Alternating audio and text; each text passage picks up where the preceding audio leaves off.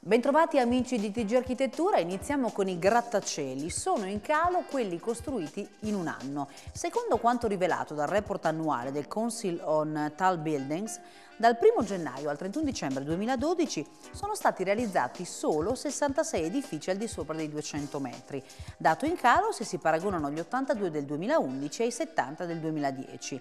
I dati confermano in questo modo l'impatto della crisi economica sul settore delle grandi costruzioni, ma per il 2013, complici tanti progetti che saranno completati, è previsto un nuovo record. Noi aggiungiamo che, come sempre, però i record maggiori per quanto riguarda l'altezza e i nuovi progetti saranno sempre di più registrati nell'est del mondo e sempre meno in Occidente.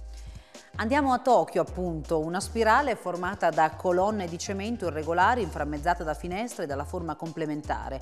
Parliamo della struttura destinata a ospitare il laboratorio di ricerca chimica Spiralab realizzato dallo studio giapponese Kino Architects. In un'area industriale nei pressi della baia, l'edificio è caratterizzato da un blocco principale dalla forma U con un taglio orizzontale in mezzo che determina la distribuzione e l'organizzazione degli spazi interni, distribuiti in modo da muovere e tornare ad un unico punto focale dove è collocata la reception. Un progetto quantomeno suggestivo, quello degli studi danesi Tradi e Nature PK3 che hanno progettato una serie di isole artificiali destinate a trasformare il porto di Copenaghen in un'area accessibile alla cittadinanza.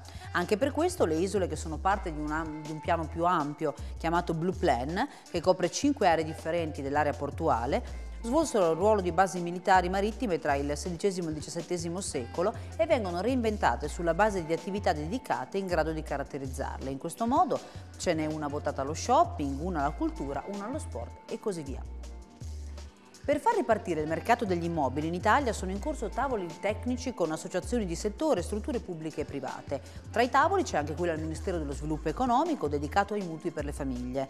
Obiettivo del pacchetto di misure è agire positivamente sia sul lato della domanda che dell'offerta. Il patrimonio residenziale italiano ammonta a quasi 6.400 miliardi di euro, un valore che è circa 4,2 volte il PIL nazionale italiano.